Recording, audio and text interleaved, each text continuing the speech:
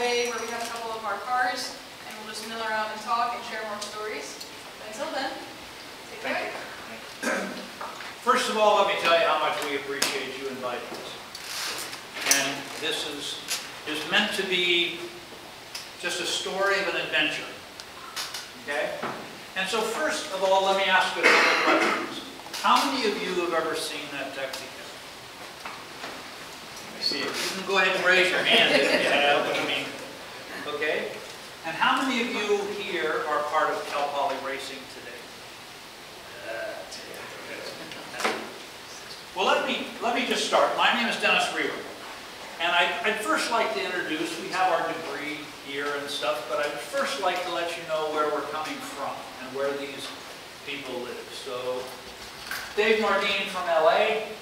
We're joined by Lee Follansby from Temecula. Chuck Raggio from Linden, California. We left somebody in California to say we were locally represented. Roy Snover from Nashville, Tennessee. Jeff Hendricks from Arizona. Prescott, Arizona.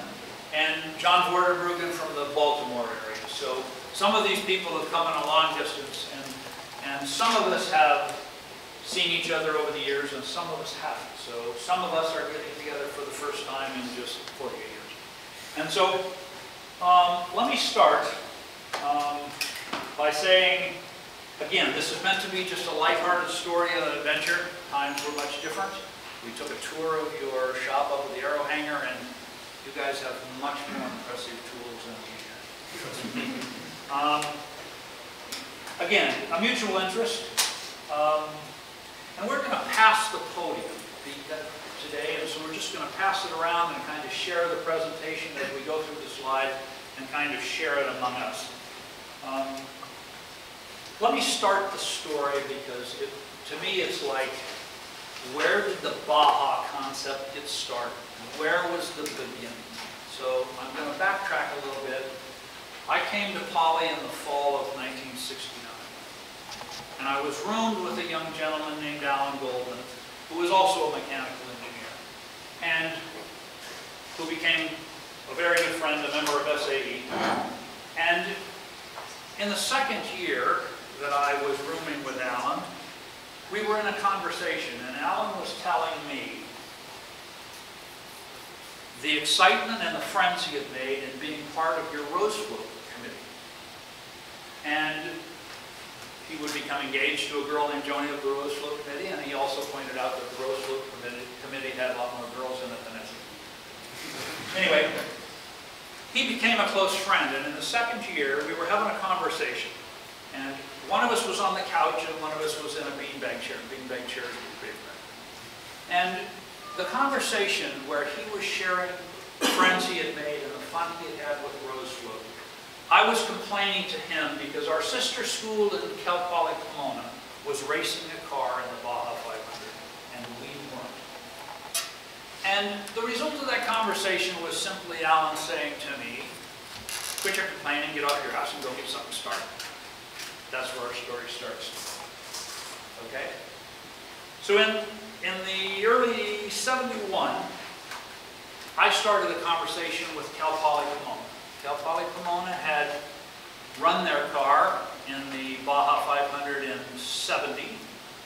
Um, they had used a taxi cab, a little older vintage than this one, but they had used one and in their first year suffered suspension failure within the first 100 months. Turned around, came home, and started talking about next year. In 71, they had brought the same car back but they have corrected it. We'll, uh, we'll look at some of the changes they have made to their car, but they had, they had come back and run in 71. And they ran in 72. So this is our story. Our first race was in 1972, which was the fourth annual Baja 500. Baja and off-road racing was young, very young. And I will describe it more as a hobby sport than a professional race back in those days. Um, so they were racing in the stock two-wheel drive class in their 70. Their modifications threw them into modified two-wheel drive. We were racing in the stock two-wheel drive um, division. I started working with Pomona and getting their feelings as well as the Professional Society of Automotive Engineers out of Southern California and Mid-California professionals at SAE said the way for us to get started in this was to go the taxi route. And the engineers, students from Pomona said, get a smaller car. Um, Which we'll come to recognize that, and I think most of us knew it, but we were trying to get started. Um, By the fall of 71, I had started looking to see if other students were perhaps interested in racing Baja. And the first few that I got in touch with were, came to, to me and said, okay, where's the race car? Let's, let's go. And we had to share that there really isn't a car, really isn't a plane. We're just sharing a concept. And then we had a meeting that had a few more people at it and a little more excitement. And one of the people said, give me Yellow Cab's number, I'll get us a cab. And the next one says, I got a truck, I'll pull it up here. And the next one said, I'm not doing anything this weekend, I'll go with it. That's these guys. Um, And that's where it all started. This is kind of like the core team, if you will, from, from that year. By the fall of 71, we had the making of what I'll call a team. We had people with an interest and people that were excited. And we started getting a car, and I think we got our first cab, this beauty here, um, in, in the fall of nine, of 71. And we all put on our best clothing for our photo here. And we started trying to build a car. Um, It wasn't until probably three months into 72. Now, we're going to race this car that we got in fall of 71. We're going to race that car on June 8th of 72. And so we went to the Student Affairs Council, and I don't know whether SAC is what you still call it, or anything like that. But I'm saying, we went to them and we asked for funding. And we asked them for $1,563.15. We had itemized the list of parts we needed down to main bearings, which cost $20.02. Pistons, which were $6.24 each. Spark plugs were a dollar each. And we were funded by them, and I will point out that we gave $418.44 back to him in change, because we got a better response from donors than we thought. we would. So, here we were, but let's get back to the cool stuff. So with that, I'm gonna hand it off to Jeff Hendricks. All we had to do at this point was, you know, build a car. on. There was other options, but the taxi path, we kind of figured that Pomona had a good model, so we just kind of continued on that. And uh, like you said, we got, we got the first one, and after about 100,000 miles or more, these things were pretty well shot. You could sit in the seat, and uh, all you felt were springs. And we brought it back, and as you can see, proceeded to strip it down. We had the body clear off, frame was exposed. We didn't even end up using that engine. And uh, doors were, we cut out the inside of the doors, trying to save weight. Uh, But like he said, in the, in those early days, this was a hobby racers. Some big names, Malcolm Smith, James Garner, Mickey Thompson, Parnelli Jones, I don't know, some of those names probably familiar to you. Um, But it was a, uh, a project that we started not really knowing what we were doing. And we didn't have any overall plan other than we, June 8th, we were going to start the, the Baja 500. We didn't have an advisor really actively actively involved. No, we didn't. It was, it was pretty much, there were a lot of other guys as, as that previous picture. Can you go back? This is probably the majority of the guys that did most of the work, but there were probably two or three times as many people that SAE was ultimately, 25 people. yeah, ultimately, there was a lot of people that worked on this. We even had some, some uh, guys from the electrical engineering department, and uh, so it was a, it was a project that we started. Next one. Dick Hickey probably a name that not very many people know, but he was a prolific off-road designer at the time. Builder, built military vehicles, built off-road racing cars, uh, all kinds of things. He was, he was at Cal Poly, and I'm not sure where he was at the time, but he was, he was in this area still. And he, he talked to us, kind of guided us in some directions, and uh, was a big help. Next. This, this is him, this is his vehicle. Uh, Some other big names that were, that were racing at that time, but it was not a, it was not a professional um, thing to the level that it, lower the ball joints down on the frame to get the car up in the air. So what we did on the, on the upper control arm. The upper control arm, uh, wishbone as they call it, we, we basically cut the ball joint mount off of it and we added plates and we dropped the ball joint down three inches. So we raised the car three inches. Then you see the side gusset, those are angle bead, angle iron, and we ran the side gussets, and uh, that's how we got the top ball joint down. And then you'll see in the picture, we, that's a shock absorber, and we put the shock tower in, and we had extra long throw shock absorbers for the extra travel that we might get. Uh, By the lower, and here's another shot you can see, get out of the way from the back here. Uh, You can see the ball joint is now sitting least three inches lower. You can see how it was stiffened, and you can see the shock. And that shifted it, because it originally came across and the ball joint was up high, so we flipped it 180 degrees, put in a a connector plate, vertical connector plate, welded it all back together. We added some cross gussets across, because that was an open piece of just pressed metal for the lower control arm, so we stiffened that up. And that's how we got the bottom ball joint to be three inches lower. So that's how we raised the front of the car. And then the other thing we did was tie rods, stock tie rods, that coupler on a stock tie rod, the manufacturers take a flat plate, they roll it around, there's about a quarter inch gap in that plate, and it's a fairly thick plate, so they can, they can cut threads in it on the ends. And they just put almost, you could call it a hose clamp, but it's obviously stiffer on both ends. And that's a stock tie rod adjuster for your toe in and stuff like that.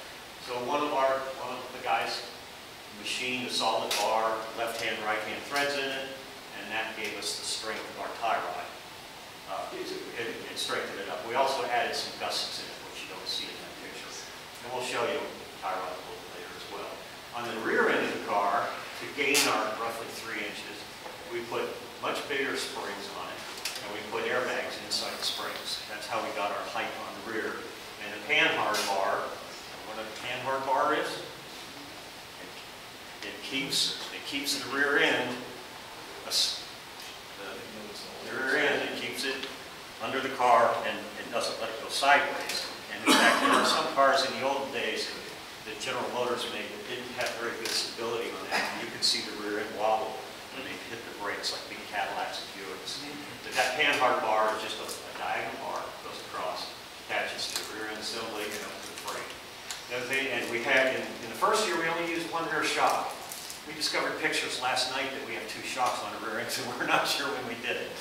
Um, Anyway, and then that's a, that's just a wire, wire rope strap with, with a rope clamp. And that was done for, or looking for a odd mount limit. So the car was flying in the air, and we want to stop it from moving. So You want to ask a question? Yeah. Go for it. When did you guys get the like air shock off of? Was it, it semi truck or air shocks pretty common back then or? Oh, air the airbags up in, up inside the, uh, inside the spring? Roy, you're the, Somebody to give them to us. those were made specifically for, for putting inside spring, and that's, it may very well be, those were.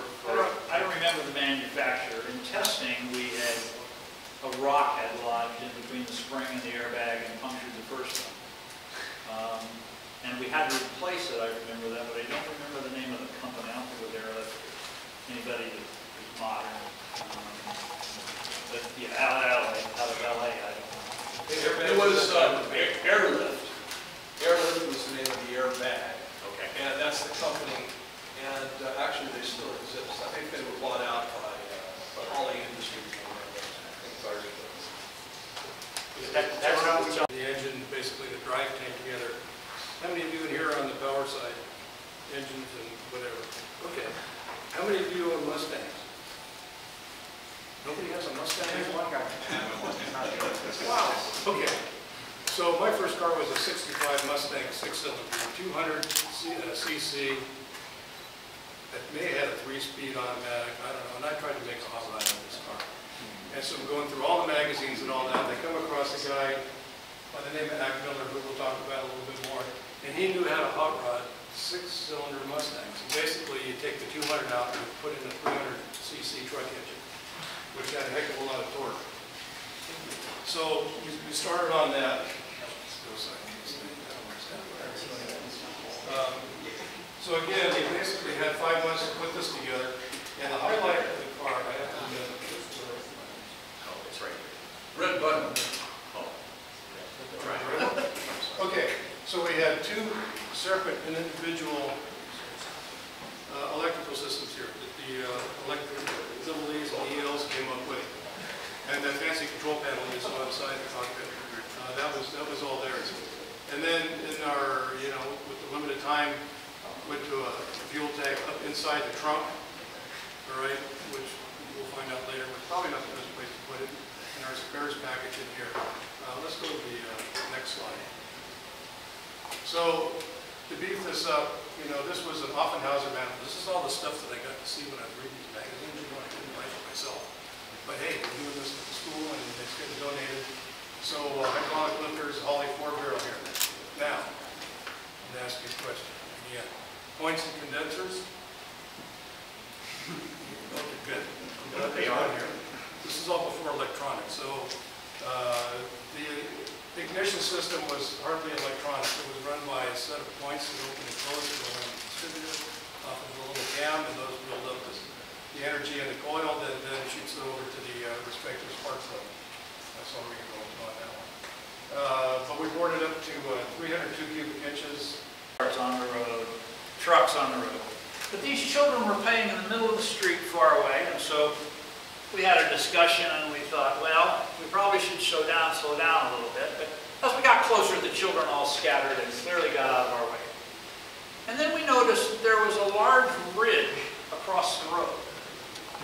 And we thought, well, best thing to do would be put the hammer down and take it light in the front end and see what that was. The game was you would take four to six inch round rocks and put them across the road and then pack dirt against them so we couldn't tell what they were. So the result was you just heard the rocks bouncing off the bottom of the car and made sure everything was still there and kept going. But that was the excitement of this thing and and you, you didn't know what was around the next corner, so to speak. Um, With that, we continued on from Camalu and headed to El Rosario. Um, We had, this was now getting into the dirt and the back, and I think our run through there, I guess, was pretty clean. Um, Another attribute of the race course is, this is not a race course where there's a little red arrow at each road that says turn here, turn there. And an attribute was the road would very commonly split in two or three different roads. And sometimes that meant that 50 feet down there was an arroyo. So an arroyo is simply a water wash where the floodwaters come through. And this road in the middle would go off the edge of the arroyo this way. And this one would go off the arroyo this way. And this one would go to the town over there. And so this was an adventure and, and certainly an experience to us. We arrived at El Rosario, I forget the time, but night had set in, and we were going great.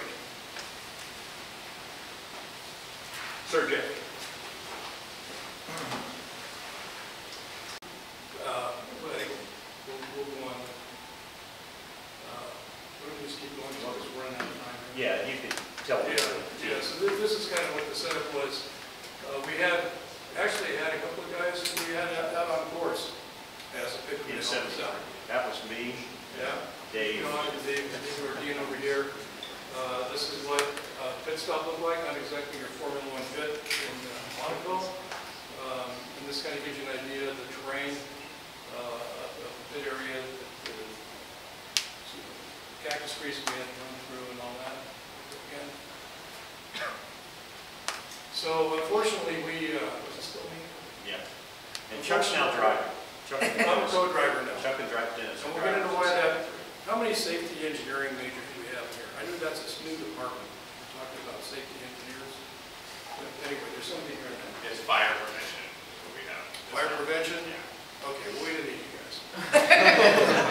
We didn't But have, uh, we, we had an incident, we had an incident. Now, you gotta remember, with, with this car and the horsepower we had, the only car that was faster than us uh, on the asphalt and on really, you know, nice gravel roads was Parnelli Jones. We were a pretty darn fast car.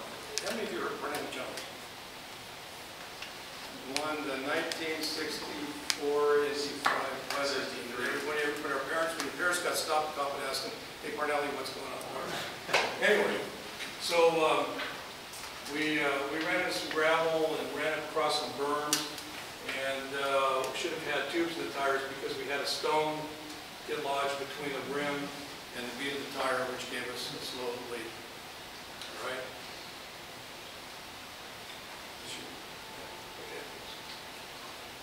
The story of our 73 race won't take me long. Um, So, as we came down, if you remember, we came through the asphalt stretch. We started down the asphalt stretch, and made that without incident. As you come down that, you turn in, turn right into a gravel valley that's fairly flat, rides out to the west, and then you start up the mountains. The asphalt was great, the gravel was fun. Um, but we slid to the left and impacted something with the left rear tire. And we impacted it fairly significantly, enough to discuss whether we thought the tire would be damaged. We took it a little easy for a while. We did not get out and inspect it, but we kept going and we turned left and started up the mountain. That story then becomes quite short. Um, the steering wheel was in my hands. So, um, we'll, we'll look at a little video later, um, that gives it a little better perspective, but as we're going up the mountains, and you can see in the distance to the valley floor. I mean, I don't know if it's perceivable, but I mean, we're a couple thousand feet now up the mountain road. Coming around this turn, I took the car out of, which you'll see a little later. You can see here where there's an apron to the road and a berm and that sort of thing. I took the car out of the groove because we were banging the bottom of the car on the center of the road. I took it out of the berm, not knowing that as you came around this turn, there was no berm, there was no runoff, and we took it over the side. Um, in this position, on a one-lane road, we're number 126. We sat on the grass bank and watched number 127 through number 340 go by, those that had survived that long. And there isn't anything we can do. We're done. The race is over. Um, The rescue crew, I think we can go to the next one. Uh, Here's Parnelli Jones going by in the Big Oly using the same number that we had had the previous year. Um, I think you'll see later that we could, we could set a beer can, uh, Coke can, set a Coke can on the windshield right here and stay there. I mean, this was a significant hill and as we went over and I looked down at Chuck and, I mean, down at Chuck. Um, It took us a few minutes to figure out whether we were going to unstrap from the seat belts or just stay intact for a little longer to see whether the ride was actually over. Um, At which point we decided I unstrapped mine and climbed out the driver's window. The car was fairly secure. Chuck unstrapped, came out through the driver's window. And you'll see later in the movie clip, as we were waiting to be rescued, we actually started taking external things like the lights and stuff off the car in case we'd lost it down the side. Would have done about three rolls before it fell off the, the ledge, but that was the end for our year. Can I make- Here, here, go ahead. I want to make one engineering point here on this. So in addition to the engine, I welded up the roll cage. And I'm sitting on the side because we didn't know. Chuck is actually driving came, as we went over that berm. And a second later, there was about 50 yards of dirt that came over the front of the car. We decided that that car probably wouldn't survive, and we abandoned it, packed up, and went home. So that was the end of the Baja 500 ra- uh, racing. Let's show that last slide. Have- Yeah, the last, yeah, the last, the last ride. Okay, There's, there, you take it from here. all right. So, it says final ride. Maine. Can I, can you start moving now? Okay. Maine.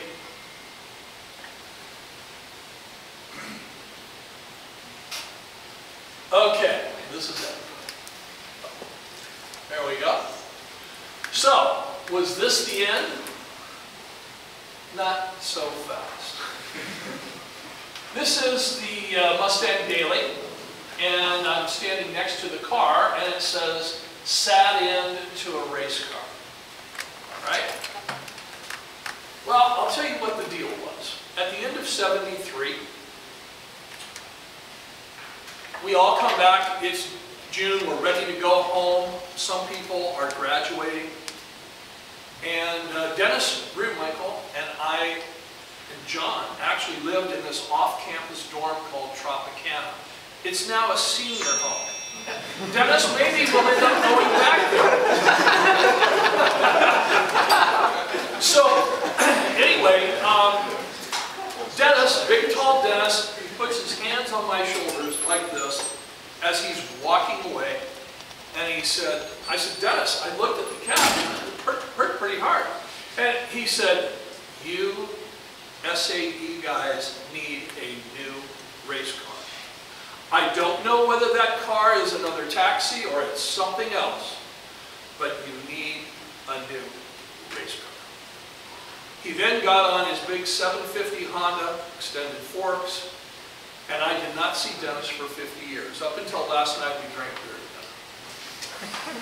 But I I was a freshman. Dennis was a graduating senior. And I respected him I saw his leadership and what he was doing, what really this group of guys, this group of eight guys was, was really doing. And it was amazing to me. So I thought, okay, we need a new race car. So, over the course of the next six months, the balance of that year, I visited Ford, General Motors, Chrysler, Nissan, Toyota, wasn't Nissan, it was Datsun. And I asked them all, could you please donate a vehicle to us and some parts so we can continue our Baja operation? No. So, that was a little bit disheartening. Also, Jeff Hendricks and I, we looked at every other option. We were looking at old Ford trucks and anything we could turn in because we had the facility. We had a new dynamometer. We had all kinds of things in the old ME, mechanical engineering lab. We needed something. And I, I didn't know what to do. Slide. So, I worked for a gentleman, and this is very significant to SAE. I worked for this gentleman, Bob Estes. Bob Estes was a real car guy. He owned five dealerships. He owned a Lincoln Mercury dealer in Inglewood, California. I graduated from Inglewood High School. My dad was a captain on the Inglewood Fire Department. So, anyway, but also, he ran Indianapolis from 1946 to 1961 as an owner. It's one of his Indy roadsters here. He uh, also ran a number of champ cars and sprint cars. You know what the difference between a champ car and a sprint car is? It exists today. Same car. Sprint car is 88-inch wheelbase, short tracks, half miles. Champ car is one mile and more. 96-inch wheelbase, same car otherwise. And, uh, but what he did that was very relevant to us was Lincoln in 1953 and 1954 came out with a new engine, the Y-block V8. You have no idea what that is. And replaced the flathead Ford. Okay, this was a big deal. Chevrolet did not have a V8 at that time, 1955. So what Bob Estes wanted to do was he wanted to compete in this race. And this race was called the La Carrera Panamericana Mexican Road Race. And he had a very good friend by the name of Bill Stroppe, who was in Long Beach, Signal Hill, not far from, from England. And so what they did is they got Ford backing, and they prepared these Lincolns to run the Mexican road race. Again, the La Carrera. So when you see a Porsche Carrera today, all the manufacturers came with their best stuff. Porsche came out with a special car for this race called the Carrera. It's a 356, little bathtub looking car. It was a four cams, best stuff they had. Ferrari was there with the best stuff they had. The Lincolns cleaned their car. So this was a big deal. And they did it two years in a row and then they stopped the race. So he had a feeling for Mexico, but he also had a very strong relationship with Ford Motor Company. So I asked him, I said, Mr. Estes, would you please talk to the Ford Motor Company? Because they've told me no. And he said, yes, I will do that for you. And he was a mentor in my life. He said, but I think you're on the wrong track. I said, what do you mean? He goes, you're asking for, find another taxi cab. You want a 428 Cobra jet in it this time rather than the six-cylinder.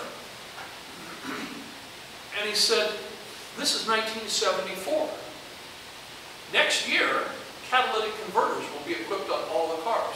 He was also the president of the National Automobile Dealers Association. He was in Washington, D.C. all the time. Big guy.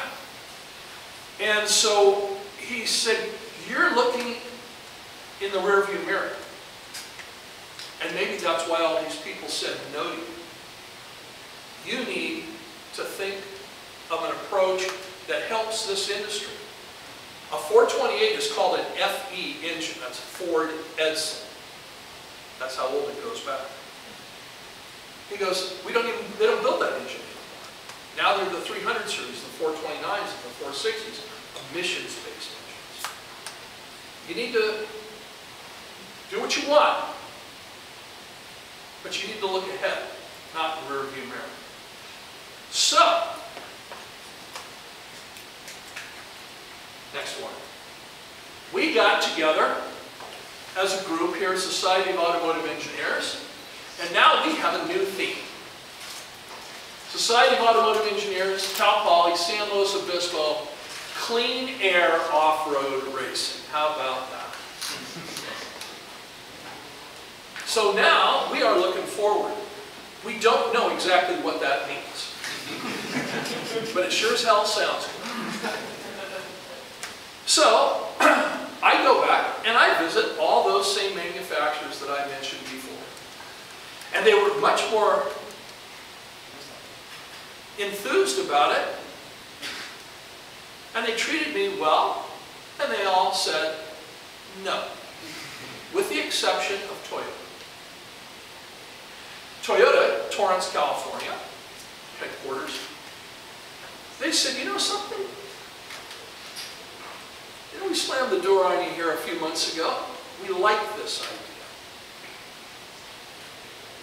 And you say you've got a dynamometer a new dynamometer up at uh, Cal Poly, and you've got a lab, and uh, we know you have this, this other race car, this taxi. Um, We want to come up and see it. Fine. A couple weeks later, they show up. A team from Torrance, Toyota Torrance. Jeff Hendricks and I take them out to dinner. Beautiful San Luis Obispo. They look at what we have. I had the engine on the, uh, from the taxi on the dynamometer, kind of show them how it all worked. And uh, a long story short, as they left, he said, uh, David, I like this. I like this opportunity. I want to talk to you more about this. I'll call you in a week. He did. Called me in a week and said, you come to Torrance and lay this out. How's this going to work? So, I went to Torrance and he said, know, again, we want to do this with you. Next one. So, I've cleaned, I've redacted this. I've, I've redacted, and, and I'm going to tell you something. This is Scout's honor verbatim. so, this guy's name was uh, Chuck Burlingame, and uh, he liked to be called Mr. B. All right, and so I, I show up Torrance, and uh, I go in there and I said, you know, I'm here. I want to thank you for agreeing to provide the truck and the parts and all these things and my list, which I happen to have here in triplicate. And he said, well, how are you going to do this? I said, well, here's what we're going to do. We're going to have two teams. We are going to have a team for the taxi, and we're going to have a team for the Toyota. And of course, the Toyota will be our priority, but we're out getting, we want to get a new taxi.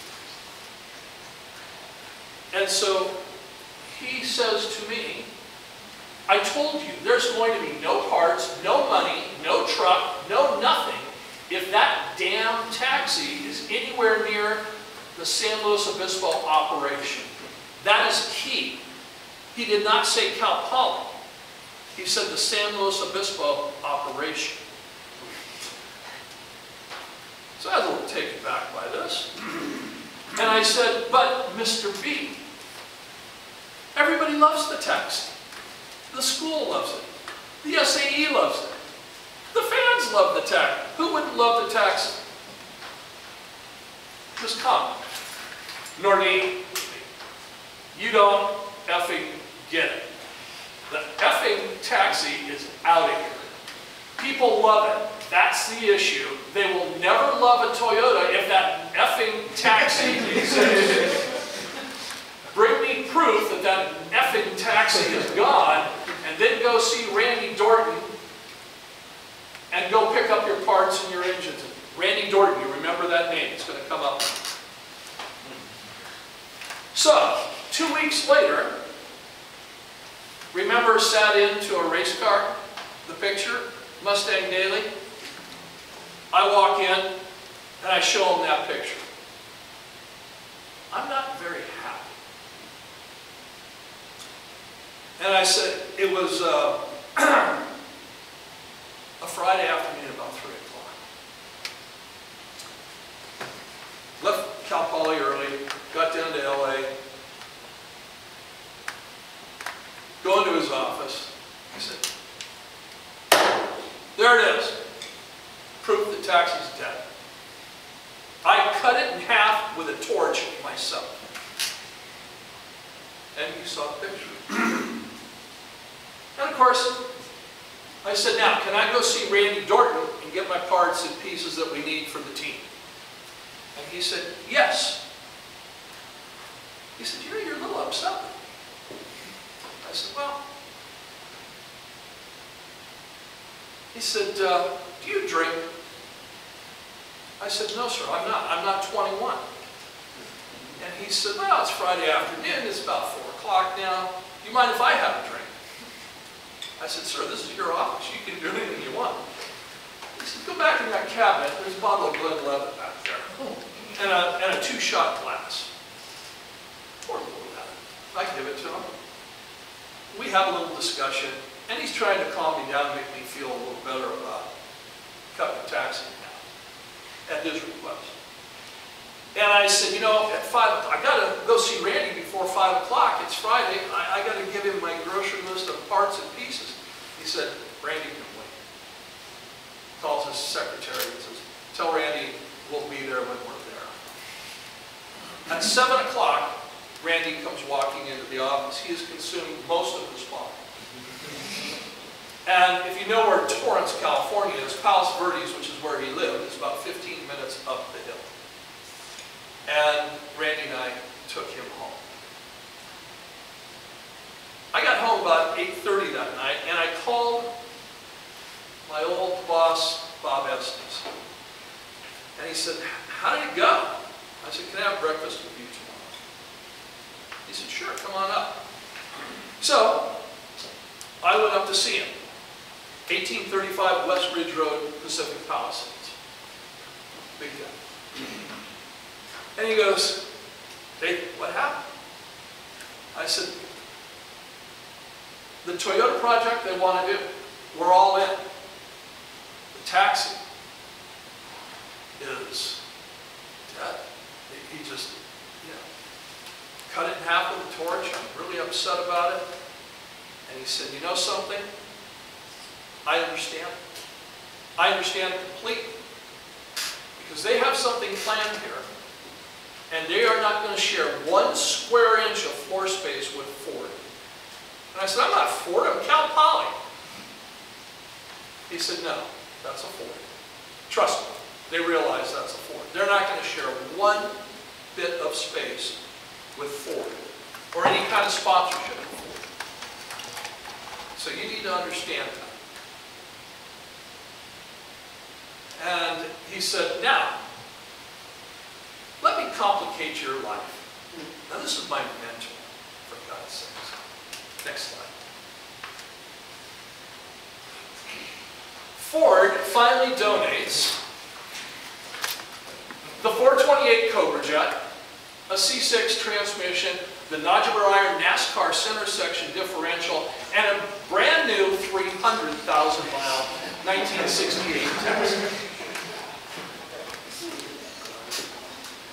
I said, I don't believe this. Two weeks ago, we had nothing. Now we have everything. And he goes, you're right, you do. And all this is going to get delivered to the Lincoln Mercury dealership. And it can't stay there. And you need to move forward with this Toyota program. He said, I'm telling you, that's the future. This is nostalgia. So what are you going to do? I said, I don't know. And he said, well, let me call Bill Stroppe. Again, these guys are old friends. He goes, maybe he has an idea. Next slide. So a week later, he calls me and he says, um, yeah. He said, you need to call this guy Rod Hall. Well, Rod Hall is a big off-road race guy based out of Reno, Nevada. And uh, so I did. I called Rod Hall. And he said, well, I've talked to Bob Estes, I've talked to Bill Stroppe, understand you've got some new parts and pieces. And his business is he converts passenger cars into off-road cars. That's what he does. And he's an age-old off-road expert. This is his Bronco, which he won the 1969 Baja 1000. That car was recently restored.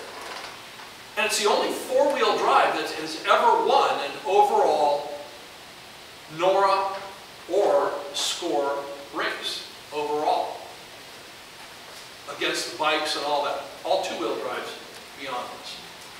And so anyway, he says, I have a customer that I need to build a car for that had a relationship with Oldsmobile. And that has fallen apart. So he wants a car and it needs to be a Ford. So I will send a truck down and I will pick up all the parts in Inglewood. And and any parts that you have in San Luis Obispo, and I'll take them to Reno. I said, okay. He goes, and I'm going to give you a check of $2,500 for all of these as a donation to the SAE project. So, you know, that's about $15,000 today. So I said, okay, now what kind of choice do I have? About four or five months later, Rod Hall. I'm here in San Luis Obispo. And uh, we're going crazy with this Toyota project and trying to get things moving. And he says, uh, Nordine, if you're available a week from Friday at 9 o'clock in the morning, why don't you come up to Rod Hall Raceway? I said, "Uh, where's Rod Hall Raceway? He goes, just east of Reno. Do you know where the Mustang Ranch is? I said, I've heard of the Mustang Ranch, but I've never been there. And he said, well, off of I-80, three eighths of a mile off the road. Gives me directions. He said, come on up. I have something I want you to see. So I said, oh, is it the taxi? And he goes, I'm not going to talk about it. You're either going to be here at 9 o'clock on Friday or you're not. So I call Randy Dorton. Now, Randy Dorton has an internship. He went to Kiefer University, or Pfeiffer University, sorry, just outside of Charlotte, North Carolina. Randy Dorton is exactly my age, exactly my grade. And again, he has a one-year internship at Toyota. He is an engine guy, he's a NASCAR guy. He worked for a guy by the name of Harry Hyde. Harry Hyde, if you Google him, was a NASCAR crew chief and engine builder. And he worked for this guy, kind of like I worked for Bob Estes. And so, he's there at Toyota. He knows what the deal is. And he, so I call said, Randy, I, I don't know what to do, but we, we got to go see this car. He goes, we can't. If we do this, he goes, I'm telling you, Toyota will pull everything out of Cal Poly. The SAE will have nothing. You've already sold the car. You're going to be at zero one more time. And he goes, you can't do it. It's just too risky. Somebody will find out. And he looked at me and he goes, we're going to Reno, aren't we? Mm. I said, you're damn right.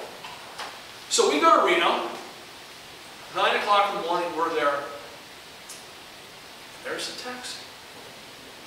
It's not our taxi. It's a 68 taxi, kind of stretched over a chromoly tube frame. The 428 is there, the drivetrain. And this is a full race car. It's got disc brakes, it's got a foot of travel. We probably had, I don't know, what, down to six inches of travel in the taxi, something like that. This had 20, it has Baja runners, big tires on it. This is a beautiful car. Well, it's a taxi. So he says, uh, what do you think? I said, I, he goes, get in this thing, let me show you how to start this. So we get in it, Randy and I get in this car, and they had a track. And, and that track, Rod Hall Raceway, is there today. It's actually a beautiful facility today. It's um, about a mile and a half track, and it's switchbacks cut in the side of a mountain on the north side of I-80. So you can make the track anything you want. So we take the thing through, we drive it, God, it drives great. And uh, it's got 400 plus horsepower, it's, it's what we want. And um, Randy says to Rod Hall, can we take it out on I-80? He goes, what do you guys want to see how fast it'll go? Go, yeah, absolutely. He goes, go ahead. So we take that thing on I-80, there's nobody out in the desert like that. We run, this thing run 130, 135 miles an hour. We bring it back, and they had little, it was a test and tune day, maybe a dozen cars there of, of different sizes and types. And so we got to play with that taxi. And the taxi lived another day. He was going to rebody that car. I think he was going to put a Torino body on it or, or something like that. But that was Rod Hall's little contribution to our taxi. And that was the end of the taxi. Taxi emotionally did live another day. Next one. Okay. Back to Toyota. So, Toyota is happier than hell, and uh, they call and say, okay, you need to come down to Long Beach, where they have a big warehouse, and they had cars down there. They said, we're going to give you two cars. Come down here, what do you want? So they have short beds and long beds, which is nine inch longer wheelbase. And so they have, you know, we're going to get two. And I said, well, we want the long wheelbase. I said, what are these two things? And he says, well, those are campers. It's something that we did when the long wheelbase came out. We wanted to approach this market of the RV little camper, and this Chinook company made these little fiberglass campers. The trucks have a slightly reinforced frame, and they have no back panel where the rear glasses is a walk-through. So I said, what about these two? He goes, one has a VIN number, and one does not. One's strictly a show car. It can never be registered. And I said, can we have these? And he goes, that looks like a race car to you? I go, no. It looks like money to me.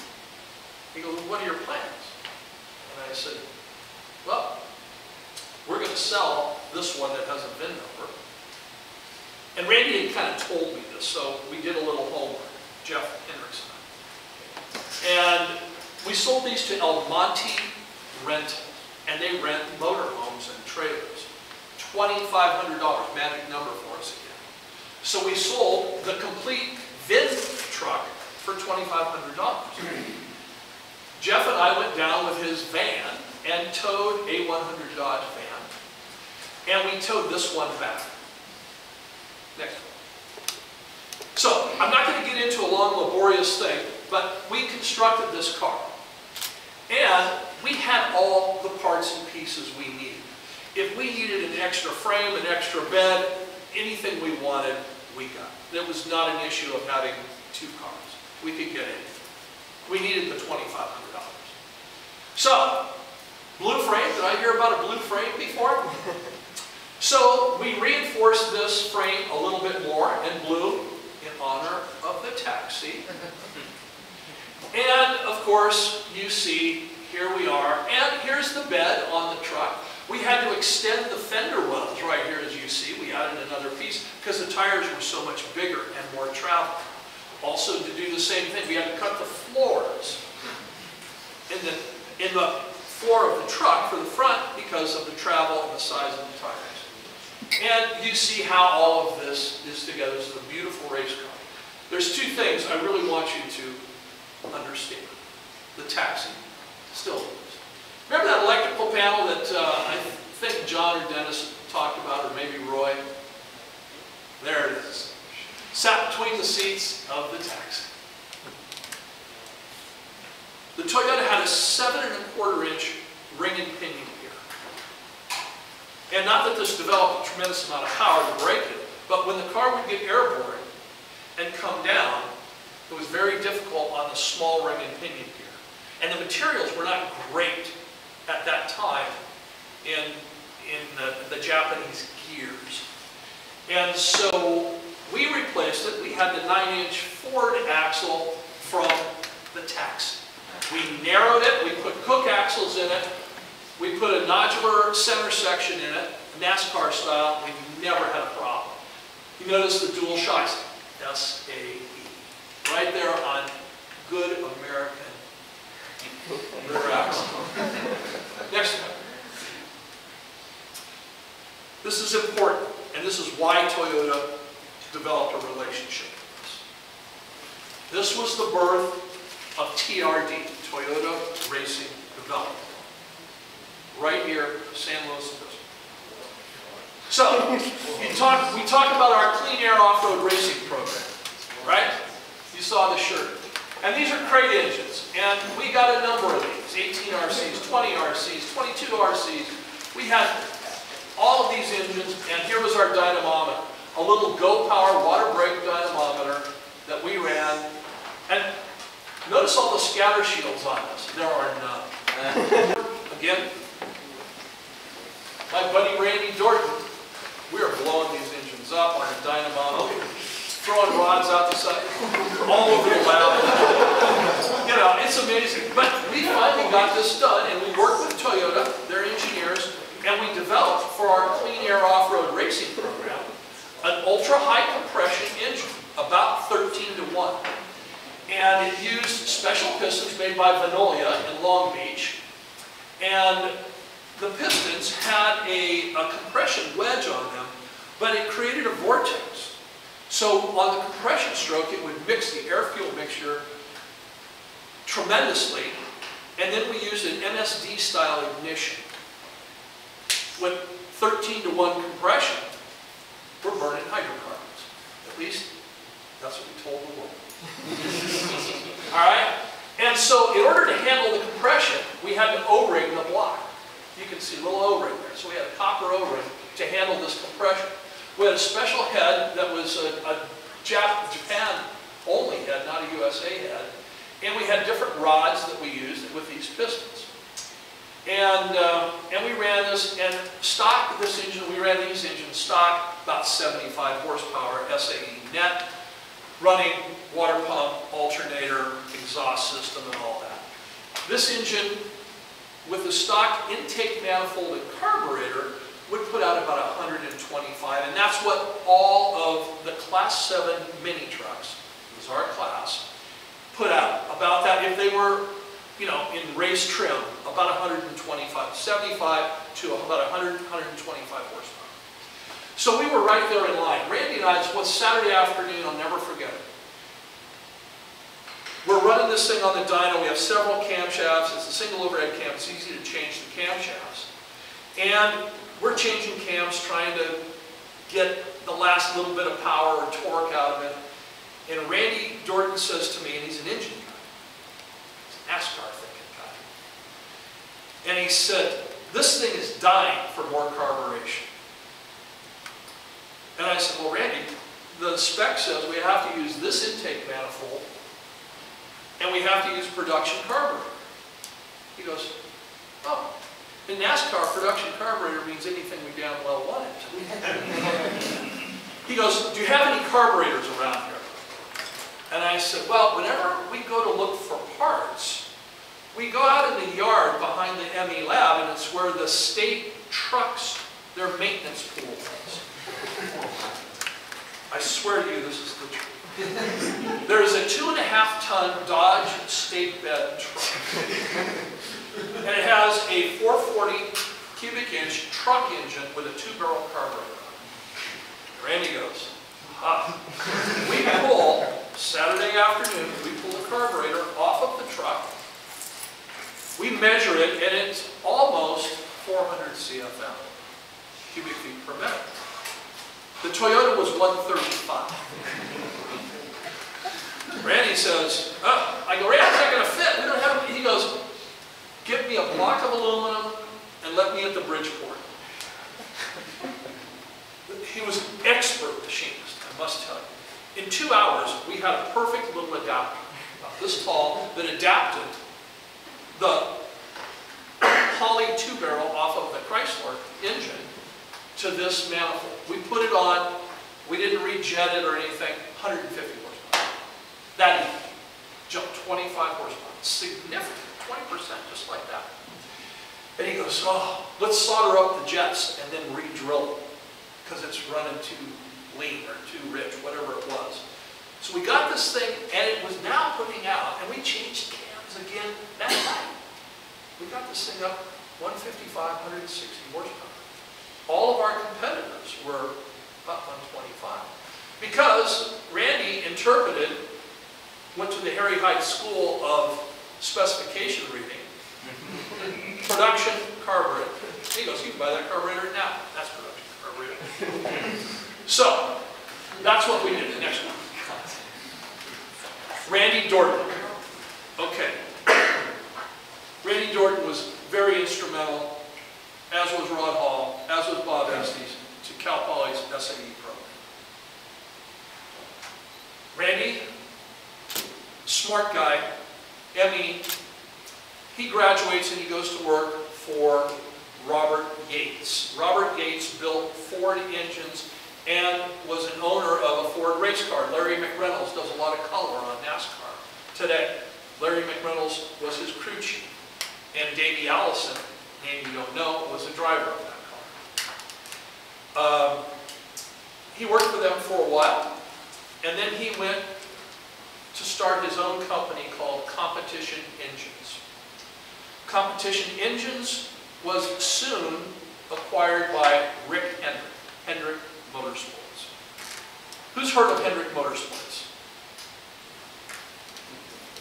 It's the largest name in NASCAR. All right?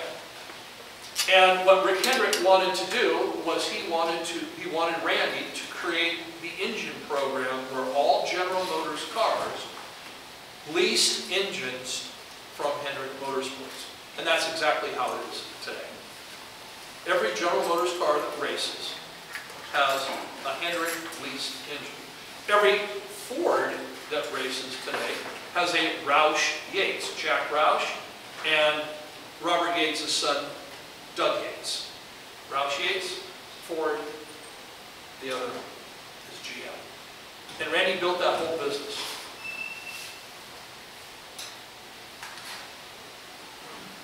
All of Jeff Gordon's championships, Randy Dorton engines. Bobby Labonte in 2001, Jimmie Johnson, the first few of his championships, all with Randy Dorton. So Randy and I remained good friends. Every time they were on the West Coast, we, we got married about the same time. Our sons are about the same age. Every time I was back east, I'd go to Charlotte and I'd see Randy. saying he would come back out here. We'd talk about the taxi, what we were getting away with. So I'm a NASCAR fan. Sunday morning, Martinsville race, half mile track. I'm watching it. News flash on TV. The Hendrick's King Air flies into Martinsville Speedway. Foggy morning, and they put it into the side of the mountain. So on board, Rick Hendrick's son, Ricky Hendrick, um, Rick Hendrick's brother on that plane, Randy Dorton, Tony Stewart's pilot, several other people, obviously the pilot, they're all dead. Oh my God. And I know his wife, I know his kids. So, anyway, I went back to his funeral. And uh, next one. Finished race car. This was a beautiful car. Absolutely stunning race car. Here's our group. We had a guy, Ken Kettleson, who was a body paint guy. This thing, school colors, green and gold. Cal Poly sticker on the window. This thing was gorgeous. This was a real gorgeous race car. And uh, every race, you know, in an off-road race or a test, you destroy it. They come back, every race this car. Um, next slide. And it ran. So, it ran for, uh, for actually three years before it was replaced by the next generation. And only one, I won't, I won't belabor this, but you can see some action shots here of the Toyota. This is the first Baja 500 in June of 75. And what they did, they reversed the course, and we started in Ensenada, two miles on asphalt, and then on the dirt to Ojos Negros, which used to be the last stop. Well, now it's the first. And Jeff and I are in the car. Drag race style, side by side. Flagman waves us off. Who pulls up next to us is this guy, Dick Landfield. He runs the factory Ford, and he is our class leader. So when we had questions about the car, we would ask Dick Landfield. okay? The factory Ford car. And he had the best engine, the best everything, he thought. So, again, we take off, this guy burns rubber, we don't just, don't do that. So I don't, we ease the thing off. We immediately catch up to uh, Dick Landfield, and he's over there, and he's shifting gears. I thought he gave me the one finger salute. I said, Jeff, did you see that? He goes, don't get excited. So we used our horsepower advantage. And so at the end of the two miles, we were about a quarter of a mile ahead of him.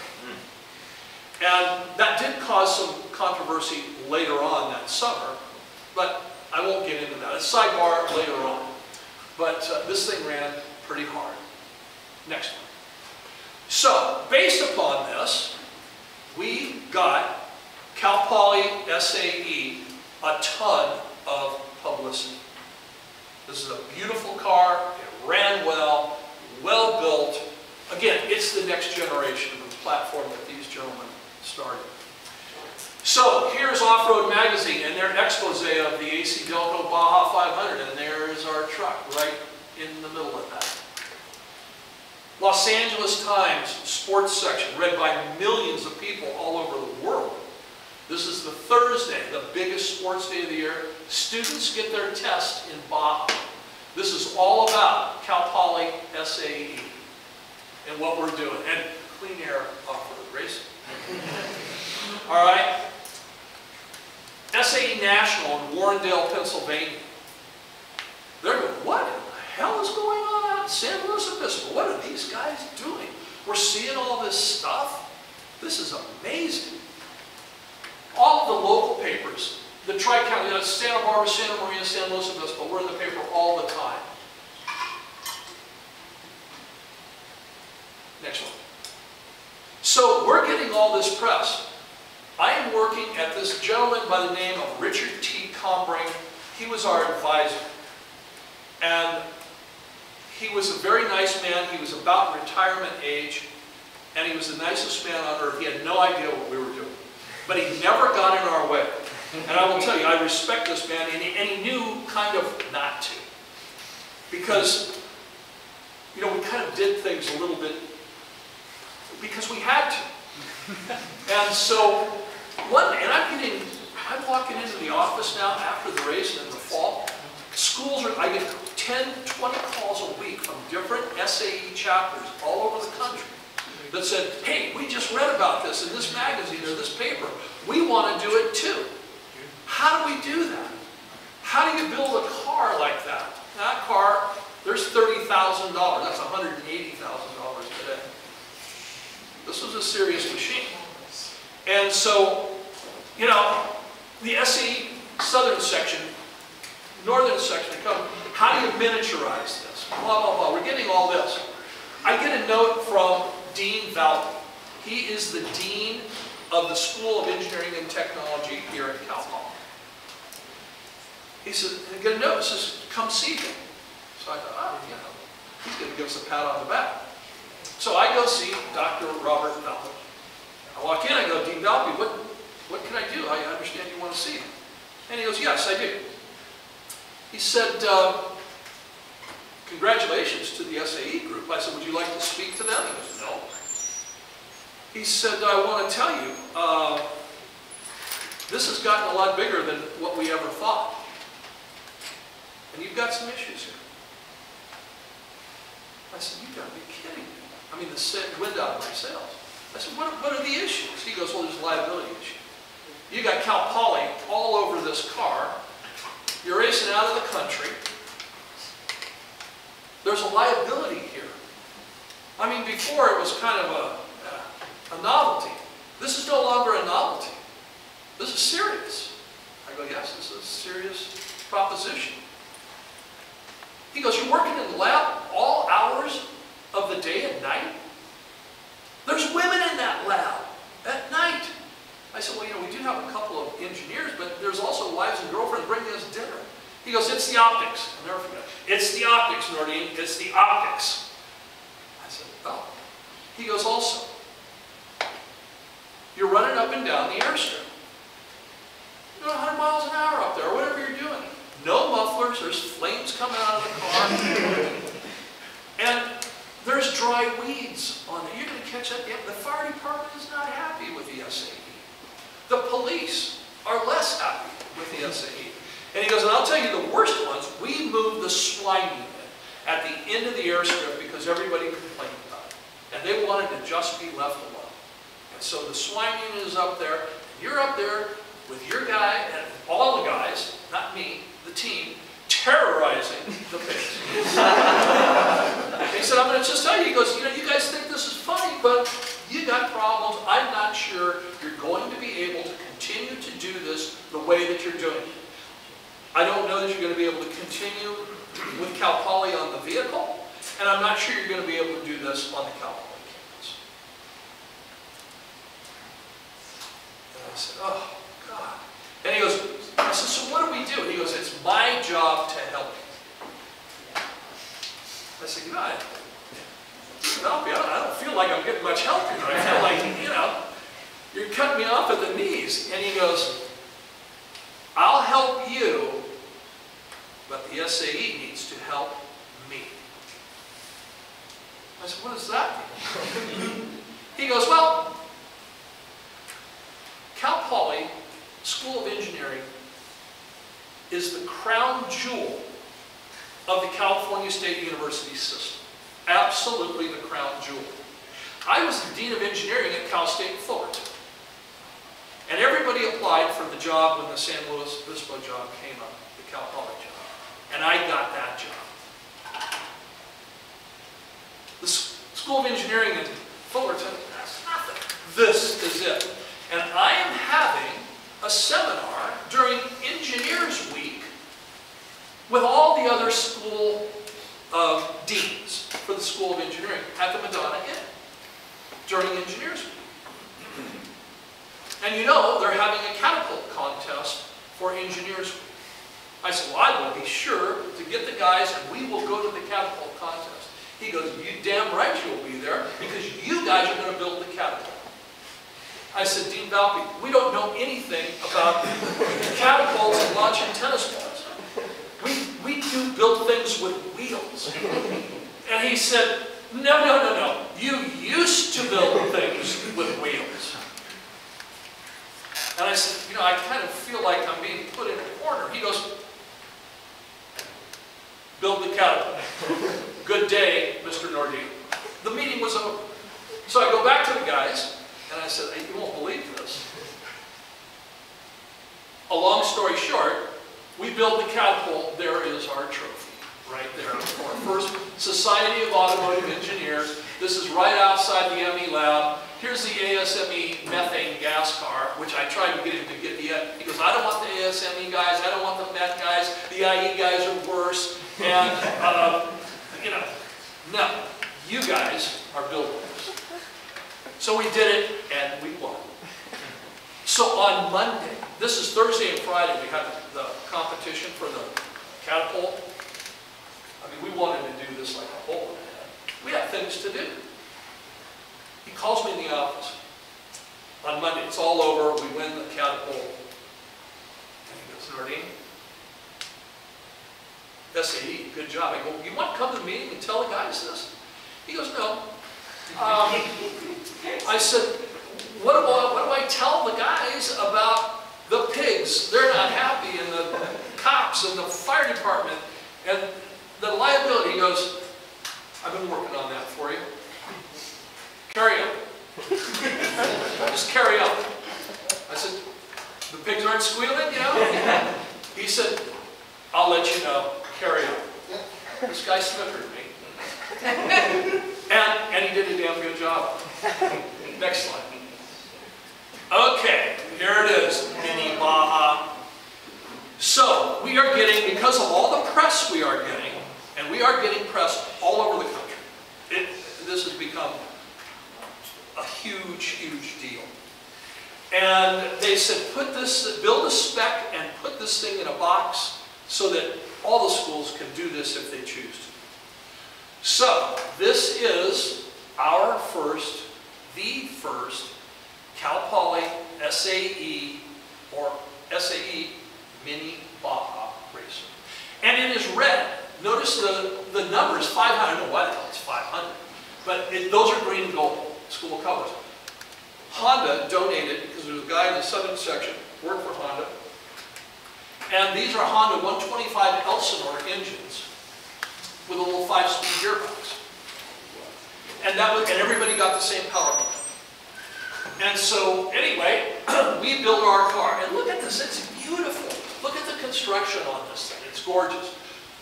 We wanted to have the competition here in San Luis Obispo because we love San Luis Obispo. The other schools don't like San Luis Obispo. No. So we did it at Indian Dunes, which is down in Valencia, California, near Magic Mountain. This was an off-road vehicle park, and once again, first place. All right? Just to show you real quick, this is UC Davis's car. This thing looks like a lawn tractor. you know, and, and Cal Poly Pomona, this is their car. It's red. It's supposed to be red. You know, Cal Poly had a lot of Baja experience, Pomona. And we expected something better than this. But no. Look at this machine. Going to be proud of that. So anyway, that was the first Baja. Now the one you're really good. Next one, please. Yes. Yes, yes, yes. So, guys back east, MIT guys and, and Cornell University, they go, you know, we want to do the gravity car. So, because Akron, Ohio, home of the soapbox derby. And it's on that wide world of sports. This was an old sports program on ABC. And they did this, and you know, and, and kids, kids built these soapbox derbies, and they had soapbox derby wheels. And they would go about three or 400 feet. They'd go 20, 25 miles an hour at the end. So they said, we want to build a soapbox derby and a gravity-powered car. And we said, well, we don't want to compete with those because it'll just be an extension and who's better, Akron, Ohio or SAE? We don't want that comparison. We have to build something better. The super soapbox. Let me tell you, look at this car. Once again, San Luis Obispo Engineering, Cal Poly, SAE. Look at it. Independent suspension, green and gold, SAE, laid up fiberglass, and our racetrack. This is a half mile. This is the Grand Avenue entrance of Cal Poly. And you come down, you can't do this now, but you come down this perimeter road and right by the uh, gymnasium and across the street from the old ME lab was exactly half a mile. And that was our test track. And this car was going over 45 miles an hour at the that. All right? And it's a beautiful car. It's done so well, like we always do. And so now we're going to have big competition. So there's about eight schools that built super soapbox. So we go to the school, we say, okay, we want to have the competition, we're going to use Grand Avenue because it's got a corner in it to slow the cars down. School came back and said, liability issue, you cannot do it, we're not going to close the streets down, can't do it here. We said, God, we told everybody, and everybody's coming to San Luis Obispo. We went to Tank Farm Road. We went to the city, and we said, we want to do this. The City was, no problem. So, if you know Tank Farm Road on the southern side of town, there's a big long hill. We measure off a half a mile. Run these cars side by side. They're- this car is over 50 miles an hour in a straight line. And you can see it's a beautiful car. The other cars were much like what I showed you before on the Mini Baja. They were, did not have the integrity of this car. So about halfway, maybe two-thirds of the way through our program, the other cars are falling over because they had no suspension. And on the rough asphalt, at maybe 30 or 40 miles, these cars are bouncing like crazy. You know, and we're gliding along. We all had the same wheels. We all used soapbox wheels. And so the SAE closed it down. They came to uh, referee the event. They said, shut this thing down because people were on their sides, the cars are coming apart. They this, this is a horrible idea. So, I thought you'd get a kick out of the super soapbox. Next. Formula SAE. So we have some Formula SAE guys here, right? Yeah. All right, so, again, we are getting all this, this uh, attention, and we are being asked because we are like the motorsports guys, Cal Poly SAE. And the guys back east, they have Lime Rock. University of Wisconsin has Road America. They want a race car. So they came to us and said, what do you think about a small car like this? Well, Chuck Raggio, where's Chuck? There's Chuck. Chuck graduates a couple years ahead of me, and he goes to work for Becton with Roy Snover. I think they shared a girlfriend there. Lynn, I'm sorry. She's out of the room, she. Oh, good, I'm glad you did. But anyway, so these guys, and Chuck makes some money and he buys this Merlyn. Oh, Lynn, good time. So Chuck buys this Merlyn. And the Merlyn, I've never seen a Formula Ford apart. I've never seen one naked okay? So I went to Chuck, took me up to Sears Point, Sonoma, where he was running this car. And I looked at this car and I could see it all, and I go, wow, this is really a simple, nice car. Disc brakes, coil-over suspension, a 1600 cc, maybe 110, 20 horsepower car, but muscle car fast. Muscle car fast. And I looked at that and I came back and I talked to the guys. And I said, maybe a version of this would be appropriate for Formula SAE. So I called a Honda guy, the guy that gave us the Elsinore engines for the Mini Baja. And I said, think about this, Formula SAE, like Formula Ford, Raggio, you know, and they go, well, Formula SAE. So the, the Honda engine guy goes, yeah, that's a great idea. We make a 175 and a 250 version of this, and the 250 version is a six-speed. That might be okay. So we created that spec for the first Formula SAE, right here at Cal Poly San Luis Obispo. And, oh, important, about, not about Chuck sharing the girlfriend with, uh, with. But this is Chuck's very first autograph signature to this little boy. very first time he did that. I remember him telling me that. And this is Tom Nelson, SAE member, one of the best machinists you'll ever meet in your life, and a hell of a guy. Next slide. I say all of this today because these eight guys built a foundation. Regardless of how sophisticated the cab was or wasn't, that was a foundation. And that was the genesis of everything that we did after that.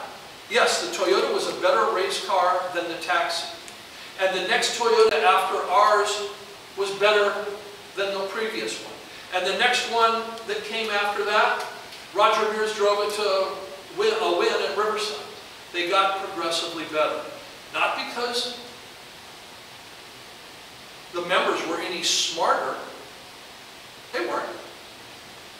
They got to stand on the shoulders of the previous members' knowledge.